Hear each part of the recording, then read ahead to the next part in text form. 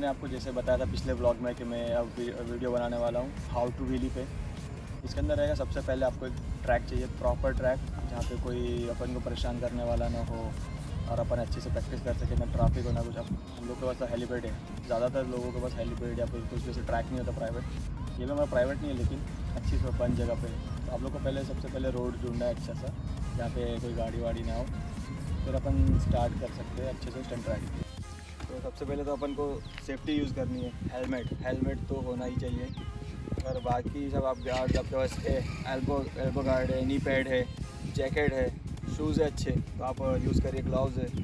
लेकिन कम से कम ग्लव्स और हेलमेट दो चीज़ तो होना ही चाहिए। ये चीज़ होगी तो आपके क्रैशेस में मतलब अगर क्रैश होता है, अपन को कम लगेगा। और सबसे पहले अपन को इसके अंदर देखना पड़ेगा एयर प्रेशर टायर दबना चाहिए, क्योंकि अपना ज़्यादा हवा रहती है, गाड़ी डिसबैलेंस होगी अपनी। ठीक है कम हवा रहती है, पंद्रह की रखो, पंद्रह बीस आपको जैसे भी ठीक लगे। मेरे अंदर अभी दस की होगी, क्योंकि मैं सर्कल रिलीज़ कर रहा हूँ। इसलिए ज़्यादा फ्लैट टायर रहेगा तो अच्छा से रहेगा। क्योंकि इसके अंदर हवा कम रहनी चाहिए तो गाड़ी बैलेंस होती है, गाड़ी अच्छे से होती है और मतलब रोड पकड़ के चलती है। तो अपन को सबसे पहले देखना है कि हवा कम हो इसके अंदर। अभी ऑलरेडी कम है, लेकिन अभी और कम करके दिखा था आपको, लेकिन अभी ऑलरेडी हवा कम है इसके अंदर। दूसरी चीज़ ये है अपन को क्लच ऐसे वाला यूज़ करना है सिंगल फिंगर अगर अपने पास नहीं हो तो नॉर्मल जो बाइक के जो क्लच होते हैं, उसको कट करवा लीजिए आप और ऐसे डाल के सिंगल फिंगर देखिए इसे ऐसे वर्क होना चाहिए सिंगल फिंगर से ये क्या बेस्ट रहेगा कि अपन की तीन तीन उंगलियाँ और ये अंगूठा। ये चार चीज़ से सब पकड़ेंगे तो अपन का ये हाथ छूटने का चांसेस कम है। मतलब बहुत कम है, ना के बराबर। तो ऐसे पकड़ो और वन फिंगर ऐसे यूज़ करनी है अपन को। तो यूज़ करेंगे, झटके से पॉप करेंगे और व्हीली ओके इसके बाद आता है थ्रॉडल जैसे अपन ने क्लच पकड़ लिया फ़र्स्ट गियर पे गाड़ी चला के क्लच पकड़ा अपन ने, उसके बाद एक्सीटर को ऐसे करना है और 50 40 टू 50 परसेंट दे के रखना है। जैसे देंगे अपन उसके साथ ही तुरंत अपन को क्लच रिलीज़ करना है, फिर बाइक को खींचना है। इससे क्या व्हीली एंगल उठा देंगे। जब एंगल आता है, जब एंगल आएगा 40 50 60 पे हाइट आएगी, फिर अपन को करना है ब्रेक टैप ब्रेक टैपिंग करके फिर ब्रेक टैप करना है। जब जैसे हाइट आए अपन को चलानी हाइट लेके ब्रेक टैप करना है।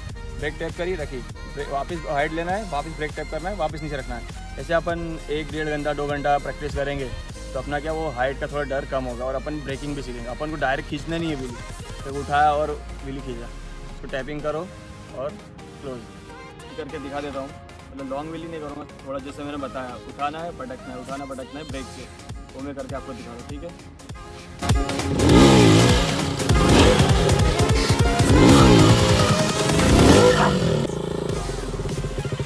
आपको पूरा दो घंटा, एक घंटा मतलब जितनी आपके अंदर एनर्जी आपकी बाइक में एनर्जी है। उतना प्रैक्टिस करें बार बार उसको ऐसे उठा उठा के भटकिए उठा के भटकिए ब्रेकिंग करिए। हाइट लेके अपन को ब्रेक टैप करना है। इससे क्या होगा, आपको ब्रेकिंग की आदत हो जाएगी। उससे क्या बाइक आपकी पलटेगी। नहीं और सबसे बड़ी बात, अगर आप बिजली उठाते हो तो पैर के मारे पैर मत खोलो। अगर आपने जैसे पैर खोले, बाइक नीचे से निकल कर चली जाएगी। तो आप क्या करना है? ब्रेक टैप करना है। रियर ब्रेक आता है तो टैप करो बाइक अपने आप निकाल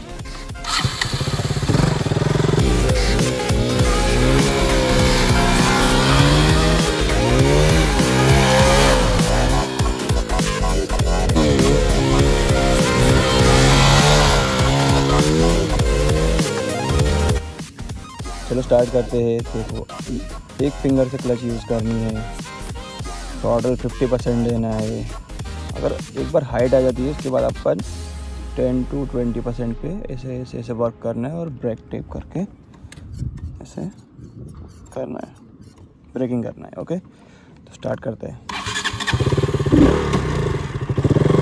ज़्यादा नहीं है। दस से पंद्रह की स्पीड लेनी है आपको ये और ये।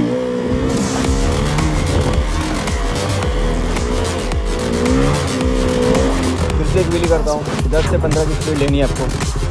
और उसके बाद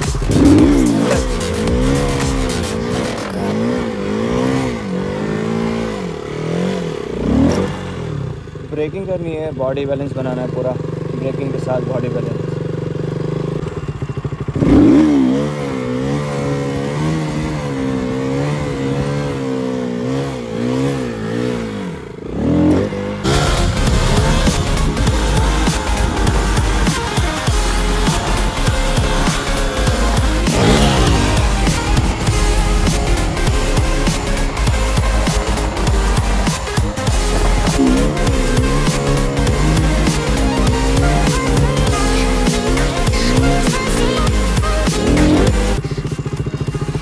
गाइस, यहाँ पे अपना ख़त्म होता है। विली सेशन हाउ टू विली ख़त्म हुआ।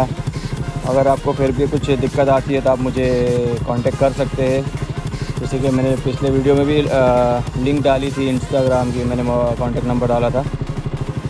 ठीक है, फिर आप लोग कांटेक्ट करिए विली करिए और मेरे पास विली मशीन भी है। अगर आपको, आप मेरे पास में रहते हो, आपको विली स्टंट राइडिंग सीखनी है विली सीखनी है तो आप लोग आ सकते हैं और मैं आपको सिखाऊँगा स्टंट राइडिंग अच्छे से।